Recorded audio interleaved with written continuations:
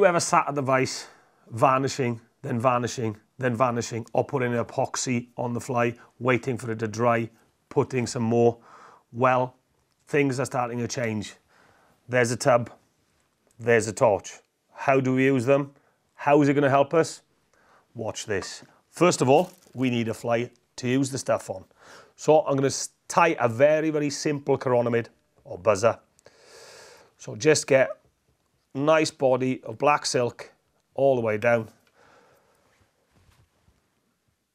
Then we're just going to use a fine gold wire as a rib. I'm just going to fold that around just to tie it in. And just take your time when you're coming back up, touching turns all the way so you get an even body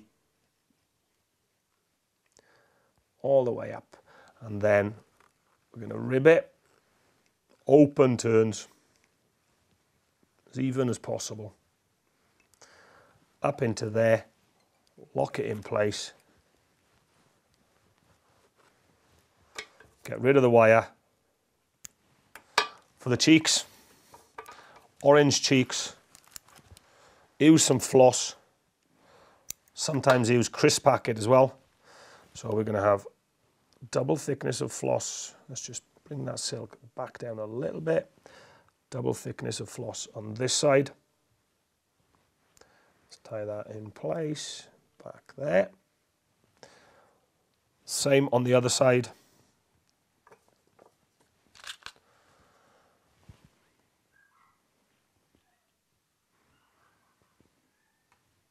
tie it in place. And then we're going to build up the bubble in the head just with the silk. Keep it going. Nice rugby ball shape.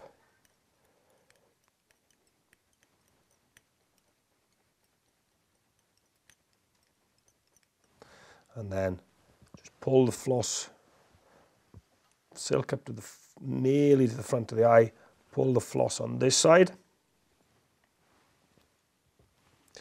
Same on that side. Locking in place on the side.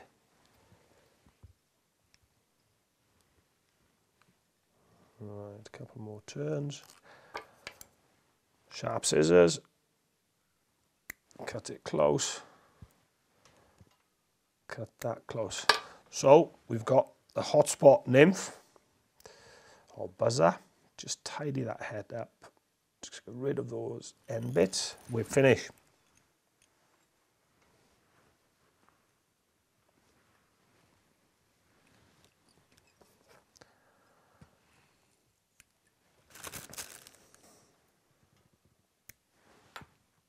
Right, that's the fly. Now it would mean Sally Hansen hard as nails. One coat, put it in a clip, leave it on the bench, dry for 15, 20 minutes. Another coat, another coat, and another coat. What a waste of time. This one, absolutely brilliant. But because I've got the vise at this angle, when I rotate the vise, you'll see the fly doesn't go flat. So what I'm going to do, we're going to push the vise down straight, put the fly in there. So when I rotate, it goes flatter. Now then, Bug Bond.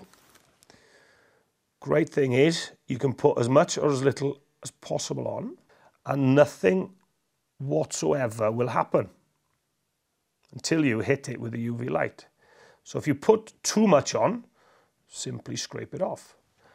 And you can just take your time, just building up, building up. And it's got this really fine nozzle so you can get it going exactly where you want get that nice shape.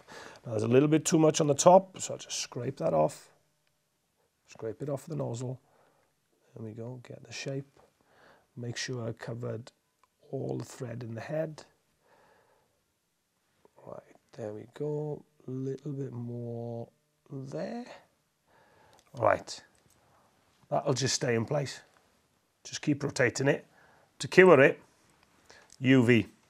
Now, just shine it. And as you can see, when I put that UV light, that orange floss just really shines out and it'll be a trigger point for the fish.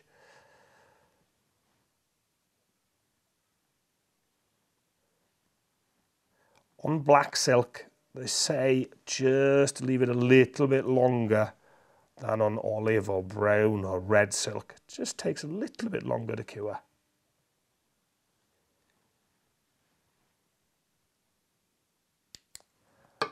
And hey, there you go. So get yourself a of Bug Bond, UV torch. It'll save you hours and hours of time at the vise.